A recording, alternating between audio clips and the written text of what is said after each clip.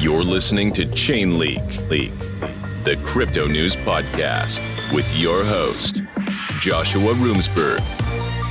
Follow and subscribe today. Welcome to the ChainLeak podcast. I'm your host, Joshuwa Roomsburg. Today's episode is about Wi-Fi map connecting the world. Today's guest, Gary Bogatin. Welcome to the show, brother. Hey, glad to be here. All right. So for the listeners, give them an introduction to Wi-Fi Map and what you guys are looking to do for the industry. Sure. So we're a DePIN play, which is a decentralized physical infrastructure. Yeah. And what, what, we're trying to do is we're trying to leverage the blockchain technology uh, to bring connectivity, um, to, to, open up connectivity for the world, to make sure that everybody can get connected uh, it doesn't matter if you got money or you don't. We believe that internet today, it's like water or food. You, you can't live without it. Right. It's very hard to survive. Yeah. So that's our goal. Um, we started off as a Wi-Fi finder and we basically are decentralized. So we are crowdsourced and okay. all of our users just add hotspots around the world. And that's why we've been around for eight years. And that's why we kind of thought that the tokenization of Web3 part of it made sense because we were kind of always Web two and a half uh, yep. with the decentralization, and we, we rely on all of our crowdsourcing to put in all the hotspots. Uh, now, we have. Oh, sorry, good. Yeah. Yeah. No, you're good. So when you talk about decentralized internet infrastructure, what does that look like from an end user perspective? So it, it looks like you don't have to have a carrier. So here in the U.S., you have yep. AT and T or Comcast. You don't have a carrier. So as you're walking around the streets, let's say you don't have 5G, so it's not yeah. necessarily an issue that we as Americans have, but a lot of poorer countries who are developing, when they travel, yeah. they can't afford to, to buy the local 5G. So when they're walking around Miami and they're here from, you know, let's say Africa or India, and they don't have the capacity to buy the 5G, they yeah. can basically know where all the hotspots are and log in and get internet. So they're able to make phone calls back home. They're able to work if they need to. They're able to attend school if they're doing school online. So we're actually just bridging it to allowing people to get free internet uh, when they're traveling, particularly. Okay. So now, when you look at the bigger picture for low income communities that may not have access to this type of infrastructure on the regular, what does the pricing look like? If I was a high school or a college student that didn't have access to the internet, what would the pricing look like if I wanted to connect? Yeah, that's a great question. So we believe everything should be free. Like the services the world, like water should be free, air is free. Okay. We believe that you can't live without internet. So you download our app completely free. Uh, there are some add-ons like eSIM and VPN. But it, okay. That's only if you need it. It's uh, completely free. Uh, we have 170 million downloads, I believe, um, between Google and uh, Apple. Okay. And uh, we have 4.5, 4.6 rating, 2.5 million reviews. Like people love our product and it's, it's absolutely com- completely free. And even more so, I'll tell you, you can add hotspots and you can earn Wi-Fi tokens. So not only is it free, you can actually make money or, or get tokens, um, by, by co- helping co- contribute to the community. Okay. Now that's another angle because I was checking out the application this morning and to use the VPN within the application, you could watch ads to get access to the VPN feature. So you're saying with the Wi-Fi feature, you don't have to watch ads or anything? No, absolutely not. You you just download the app and it'll tell you all of the free hotspots around your area. Uh, typically, the restaurants, cafes, and stuff, hotel lobbies, and uh, you just head over there and you connect. So uh, you see where you'll be. You could download an offline map um, you know, so you know where everything is in the area that you're about to go to. Uh, with the VPN and eSIM, it, there is a fee. Uh, it's a premium service. There's also okay. an ad-free service, which is pretty premium, but we try to keep our ads pretty pretty low key, so um, it, it's pretty good. And what's interesting is you can actually, by contributing to the ecosystem, earn Wi-Fi tokens and then redeem those Wi-Fi tokens for free eSIM and for free VPN. So you don't even have to look at the watch the ads if you don't want to. Okay. Just, now, you know, with the eSIM, what type of features do you get with that eSIM? Is it only phone calls? Is it data? Is it text messages? What does that look like for the plans? Sure. So it's actually pretty cool. It's um you buy it by gigabyte, so there's no actual phone in it okay. or text, but you can use WhatsApp, Telegram, which is usually what travelers do anyway because yeah. they're out of town. Uh, it's kind of like second nature. Maybe not so much here in the U.S., but outside of the U.S., everybody uses WhatsApp and, and Telegram yeah. instead of texting or SMS. And you you have access to it in, I believe, 70 countries. So you can download. So I, when I was traveling to Europe, I'll, I'll, give you a personal example. Traveling to Europe last year, and I, I didn't want to go looking for a SIM card once I got there. Right. So what I did is I downloaded the eSIM before I got there. Um, it took around one minute or something, really simple. I bought like one or two gigabytes, and when I arrived in Europe, every country I went to, I just I was seamless, seamless 5G and 4G connectivity depending where. Uh, it, it's That's a pretty cool, cool head, headache free. Uh, so the infrastructure for the eSIMs is database solely. Correct. Yes. Okay. There's no phone number involved. No, not yet. Eventually, we want to bring that out, but right now, no. Yeah, there's no phone number. Okay. Now, let's go back to the Wi Fi features for Wi Fi map. When you look at, say, I was going to Starbucks and I connected to their Wi Fi, if I wanted to earn, I would share the password to that network. How does that work? Correct. So if, if that Starbucks happens to not already be on our ecosystem, yeah, uh, you would share. You would go into the app and you would share uh, it's pretty quickly. You just click share and it just shares.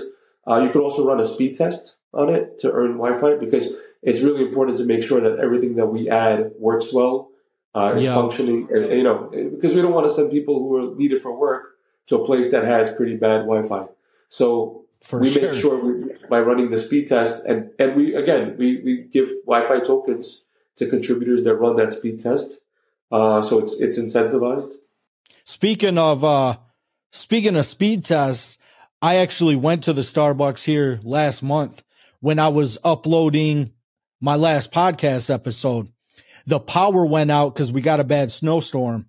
And I went to Starbucks to try and upload this 14 gigabyte video and it was not happening. They didn't want no part of that. So the speed definitely plays a factor when you're working and you need to be able to connect to public Wi Fi. Yeah, 100%. And that's why it's important for us to incentivize the community to do that for us. Uh, we have AI on the back end that's taking in all that data that you guys are, our crowdsource is putting up, either the Wi Fi hotspots or the speed tests. And we're making sure to only show you the ones that we are comfortable that are A, working, and B, that are working well, right? So we're not sending you to a place that at one point six months ago had Wi Fi, but nobody's connected for the last six months. Right. Now, when you look at the global landscape of Wi-Fi map, which countries do you feel have contributed the most? Oh, that's a good question. Um, our biggest users, which is an easier question for me to answer, come okay. from Indonesia, uh, India, Brazil, and the Middle East, right? So these are our biggest regions of people who okay. use it. The contributors are a little harder for me to to uh, pinpoint but I would assume that it's probably a very similar demographic of people who yeah. are adding stuff. Yeah. So for end users who are looking to use this product, you're saying them four regions are where the most users are interacting with this application? Yeah, correct. Yeah. So the most downloads, the most most users. Uh, India is growing, you know, leaps and bounds. It's amazing. Indonesia is good. The entire Middle East has been a great area. And uh, in South America, it's mostly Brazil. Yeah, so like it's okay. uh, that's where it's coming from. Those are where the users are coming from. Now, have you guys thought about or approached people in South Africa? Uh, so we don't approach necessarily people. We just we have our app. Uh, I'm sure there's many downloads there. I don't, I don't have the stats in front of me, but uh, we're we're like in almost 200 countries. So for sure, there are hotspots in South Africa, and there's probably a very dense because it's a big country. Uh, so you, you're covered pretty well in South Africa. Uh, so I assume we have a decent amount of users there. It just they don't happen to be in the top five of the countries gotcha. that use it.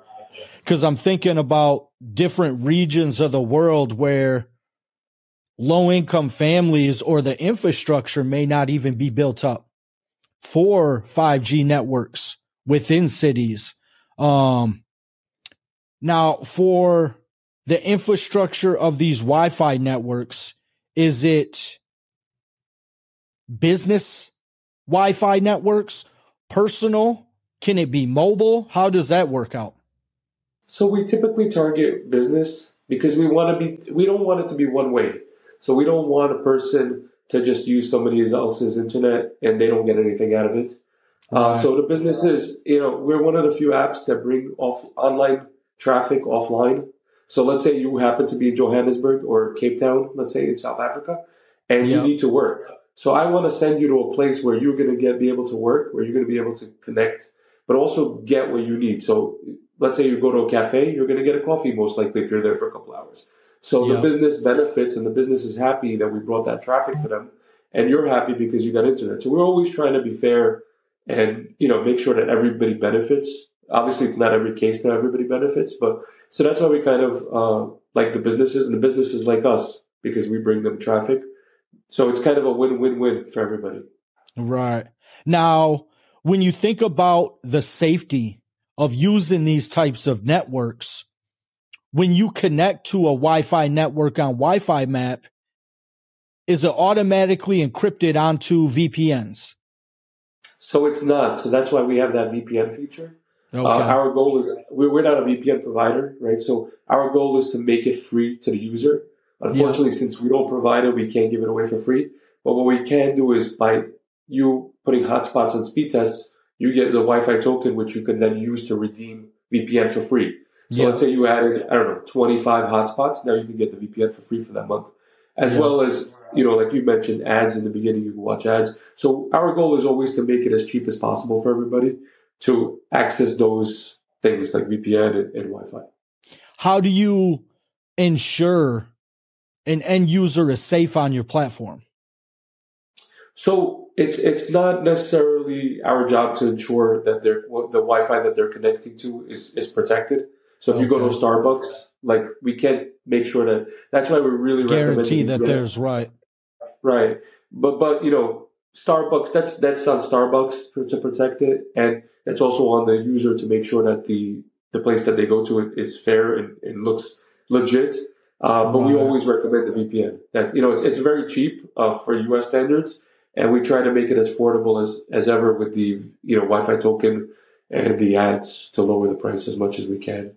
So if you were to connect to a Wi-Fi hotspot on the application, would you turn on the VPN before you connect? Yeah, yeah. So if you have, well, before you connect to the Wi-Fi hotspot, not before you connect to the app. So yep. you, you can turn it on at any time, right? So you're on the app, you see it, you turn on the VPN, you connect. And that's how you should do it, not even on our app. Like, there's no real difference if you're doing it through our app or just going to a Starbucks, like you said, to upload your video. Like to protect yourself, you should be on a VPN because you're okay. on a public network, and and a lot of people forget that, right? Like, yeah, no, I didn't use a VPN that day, so that's crazy. Um, when you look at the Wi-Fi map ecosystem, what types of partnerships are you guys putting together? Okay, yeah, that's that's important. Um, so from the partnership side, we have a lot of people that come to us, right? Because we have a lot of user base. We have 5 million active users and like okay. I mentioned, 170 million downloads. So we're constantly inundated with partnership requests. So yeah. our main goal is, does this partnership bring value to our users, right? So that's how we run our business. Our business okay. is always run as like, if I put it on your phone, will you use it and will you benefit from it? Or is it just there for us to make money? Then we're not interested. And on the That's crypto cool. side, we're partnering up with like big partners. Uh, we partnered up with Sweatcoin.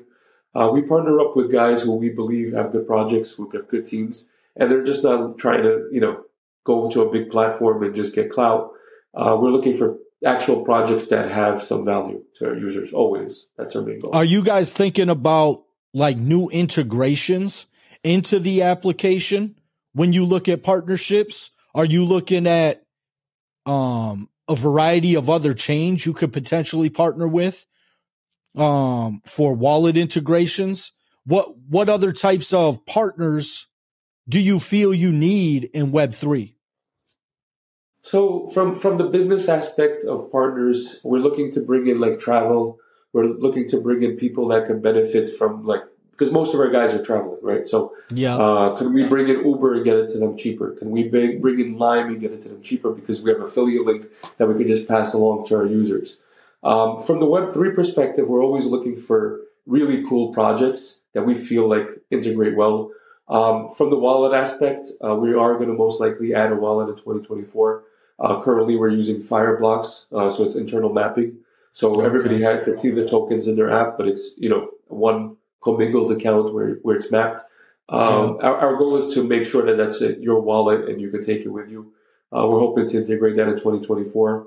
Um, okay. When it comes to Web3 partnerships, it's, it's just important for us that it's a legit project and it brings value. That's what that's the main thing we're looking for is value to our users. If you could name one feature that a potential Web3 partner could bring to the table, what type of features could that partnership add to the application and the experience for an end user? Oh, um, I, I kind of, might be personally, there's a couple of different routes we could go. Me personally, I really like discounts. You know, I, I think the people yep. who we serve are under, you know, they, they're not necessarily coming from the wealthiest countries. And I think bringing discounts to people is important. Um, and by by having the amount of traffic that we do and the amount of traffic that we're able to send out to people, I think a lot of companies would like to work with us and give our users discounts. And we'd love to pass those discounts on to our users. So those are the partnerships that I think are important for us. I just thought of a bright idea for something like that. If you partnered with, say, Pizza Hut and Pizza Hut mapped out every single one of their locations for the Wi Fi. But once you connect to that Wi Fi, you get a pop up inside the application for 10, 20% off your order for connecting to their Wi Fi. I think that would be sick. Yeah, those are exactly, you know, I think that's what we're looking for in 2024. Um, that, that's the type of partnership we want. We want big companies that people can use all around the world globally and something that gives value to our users by giving discount. Hey, I want to get a pizza anyway. You know, if I go to Domino's, if I go to Pizza Hut, hey, I could get free Wi-Fi, and I could get ten percent off a pie or and a drink. Right. that's yeah. that's a no-brainer for everybody. It's a, like it goes back to that win-win-win kind of scenario. Yeah. Um, another thing like that would be inside the application. You we talked about moving your tokens externally, and you said that's a feature you guys are working on. How about redeeming your rewards for discounts on websites or other applications? If you wanted a $10 Amazon gift card and you put in the work to get that, would you be able to redeem for something like that in the future? So we probably will work on something like that. For now, you could redeem it into into USD or, or fiat currency, let's call it, depending where you okay. are. So, you know, once you have the Wi Fi token and you take it off, we tr- we're trading on three or four major centralized exchange and a couple of major decentralized exchanges.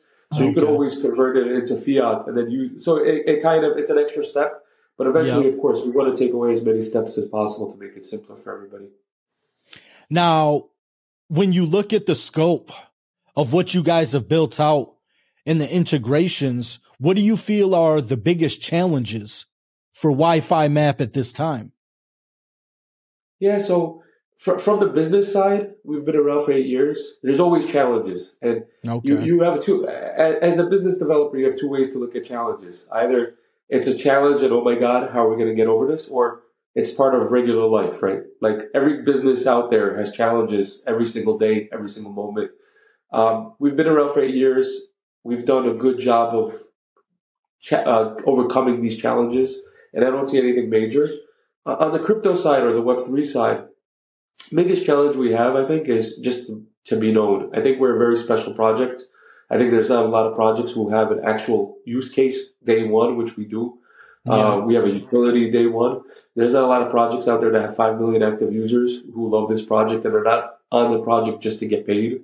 They've been yeah. with us before the tokenization.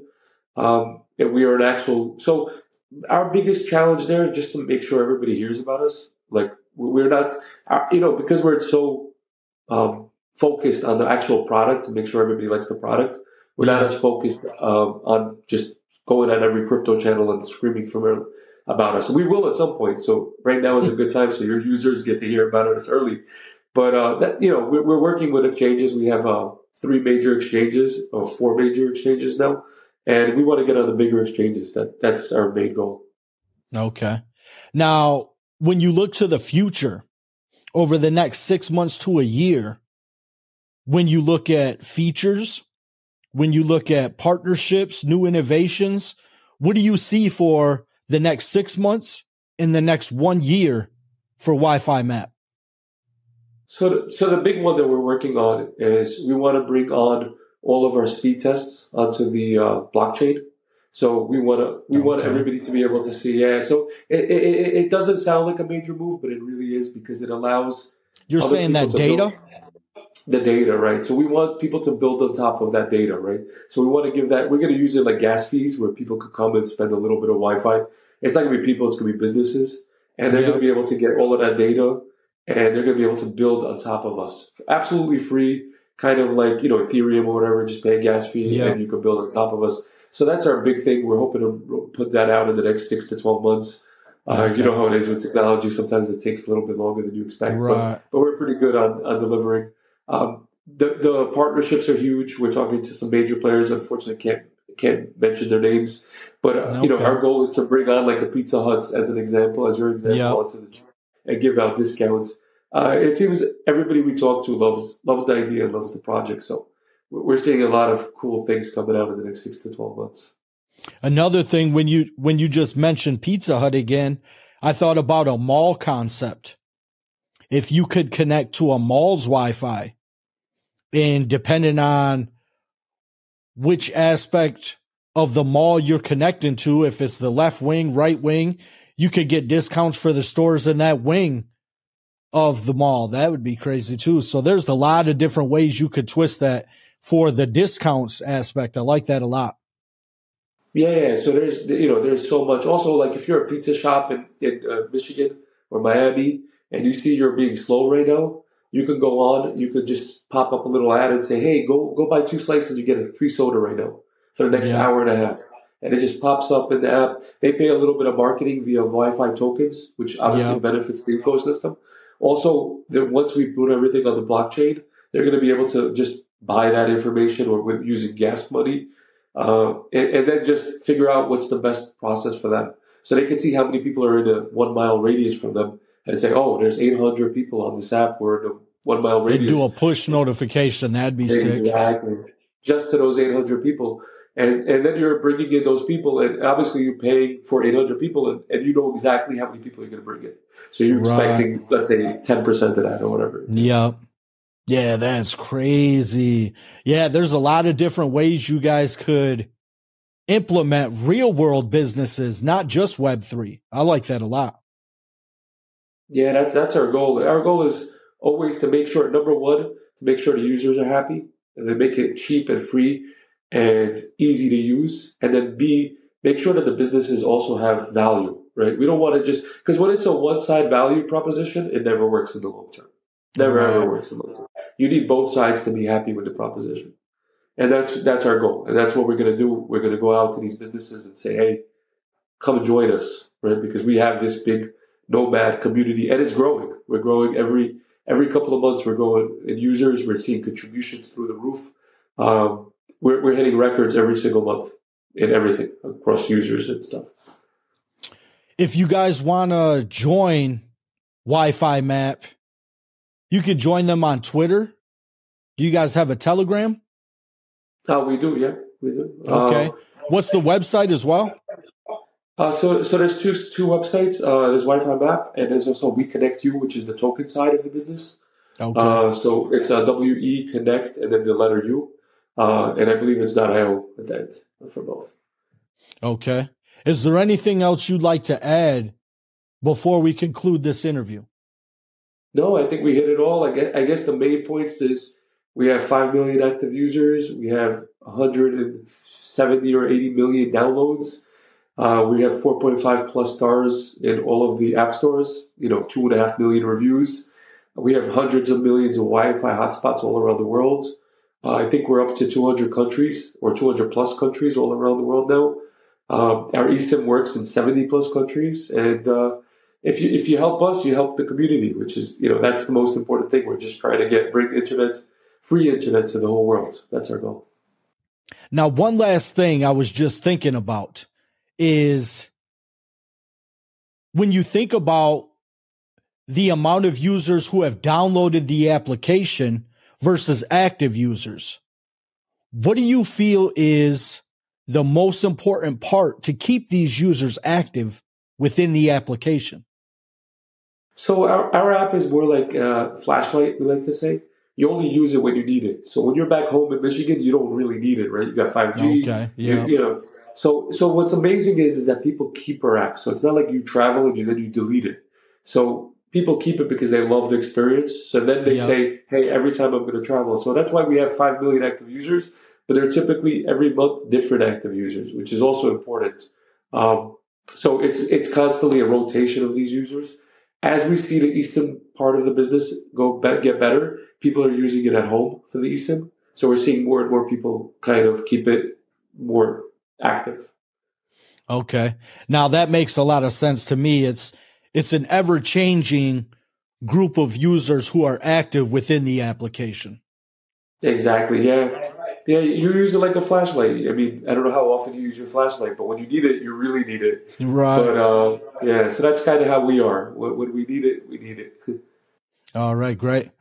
Well, Gary, I appreciate you being here today. This has been Wi-Fi Map connecting the world. Thank you for being here, brother. Thank you, Joshuwa. It was a pleasure. All right. Have a good day. T- take care, man.